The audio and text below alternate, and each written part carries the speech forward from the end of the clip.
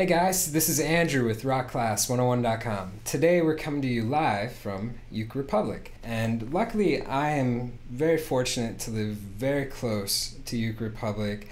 And it's been such an awesome experience. I actually got to see Danielle Ate the Sandwich here just a few weeks ago. This store is really vested in the Uke community, so it's a real pleasure to work with Mike, the owner. And I got to talking with Mike about one of the most common questions I get asked from my members.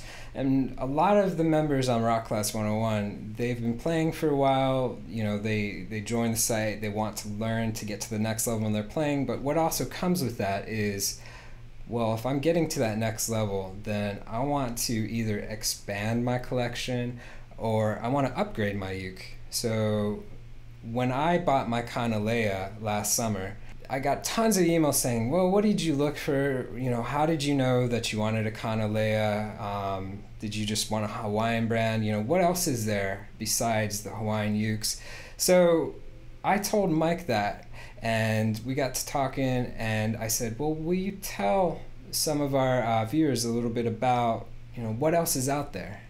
So luckily, he said yes, and I'm gonna go ahead and let him take the reins on this and tell you guys about a few options you have, um, describing different types of woods, different types of ukes, different types of sounds that you can get out of it, and he's gonna take you on a little journey through it, just to kind of open up your mind a little bit, give you a few ideas on what you can look for if you're looking to upgrade or add to that collection. And I also want to mention too, we're doing a little special if you are a premium member at rockclass101.com, everything that you see in here that is $1,000 or under or anything at Uke Republic will be 5% off. Everything over 1000 will be free shipping. So it would be just a little incentive for our premium members. So without further ado, I'll give it over to Mike. Hi, Mike from Uke Republic here. So I understand you've been playing ukulele for a while and you're ready to step up to something even nicer than what you've been playing. Well, there's a lot of choices out there, so it really is going to depend on what you like and what your budget is set at. Uh, if you're considering an instrument with a pickup already installed, uh, I think this one packs a lot of value, sounds great, and it looks good. This is from Kala. It's, um, it's got some advantages. Perhaps your instrument is all laminate. This instrument has a solid cedar top, and the cedar is going to give more character, big sound, loads of projection, um, and just a lot of detail to the tonal structure of your playing. Um, of course, again, every budget is different. This one's going to come in somewhere around uh, $400. But for that, you're getting a cutaway, solid cedar top. You're getting uh, a pickup with a built-in tuner, uh, fancy binding, the Padauk binding, and uh, an acacia laminate body with a slot head. So important thing, you know, it looks great. It's got a lot of features. Does it sound good? Let's hear.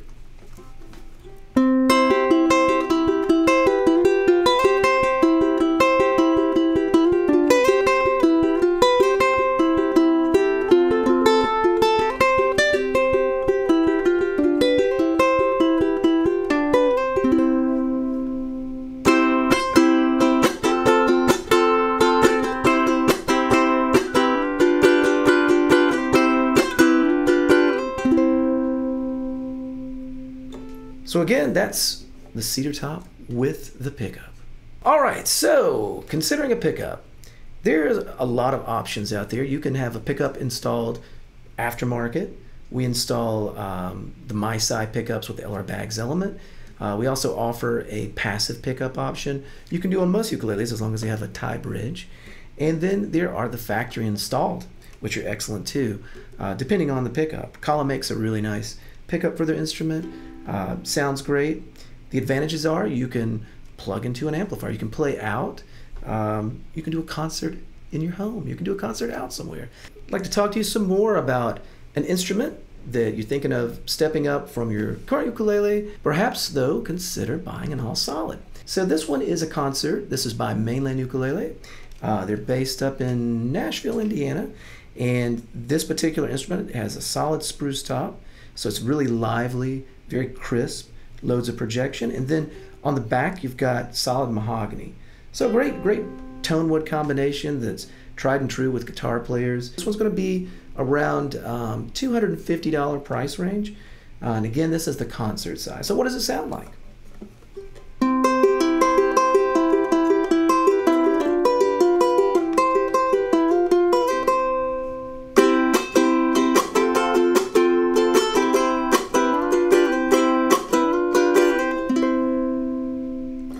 Again, that's a concert scale, all solid spruce mahogany. All right, so let's contrast compare a couple of ukuleles. Again, this is the Kala cutaway with pickup, and this is uh, the mainland solid spruce, solid mahogany. Both are exceptional values, to be quite honest, and both are excellent instruments. So choosing your next one is a personal choice. It's going to be, um, you know, what sound you're looking for, what feel you're looking for, and what options you're looking for. This particular tenor has a pickup on it, which a lot of people like. If you have to add a pickup um, later on yourself, say a MiSi, you're looking close to $200. So this one's already got that installed. This instrument's great too. Uh, wonderful instrument to grow with. It's all solid wood construction. It's going to continue to sound better as it's played and, and the wood opens up. So over time, both are going to be great instruments. Again, this one's a concert and this one is a tenor. All right, so you're considering choosing another ukulele. Maybe you're thinking of a Hawaiian maker. Well, we carry a few different ones. One that's very popular is Kanile'a. I believe Drew plays Kanile'a.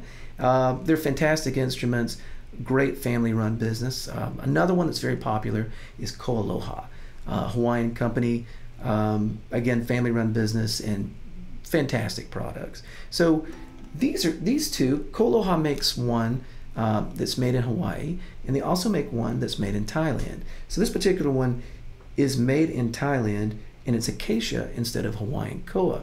So what they've done is made this about half the price of their Hawaiian-made ukuleles, but still fantastic build, uh, excellent sound, and re- really a wonderful instrument.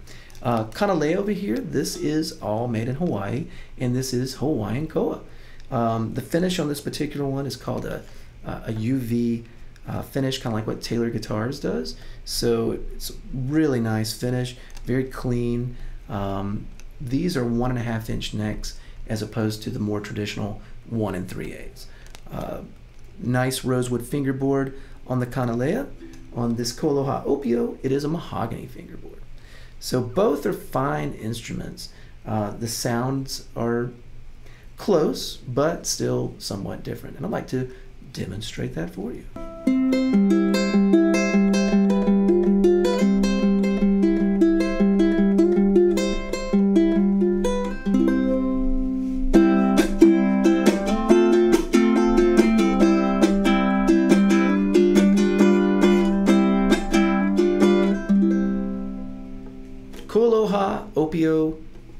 G.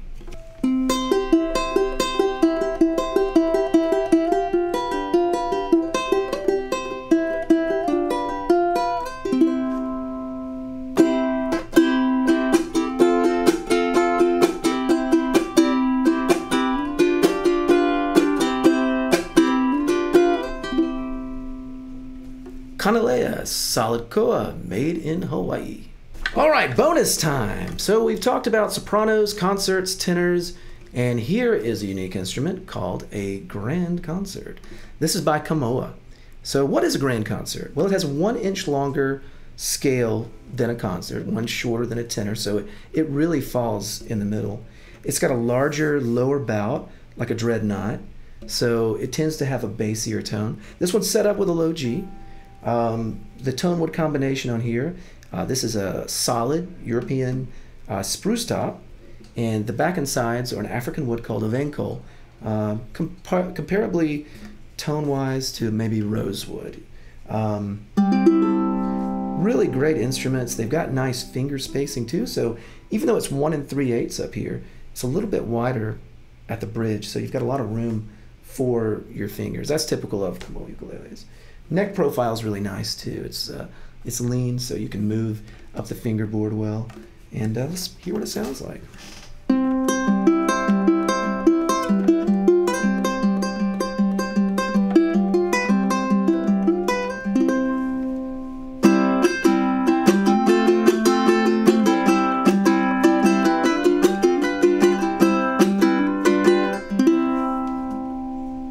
Kamoa Grand Concert.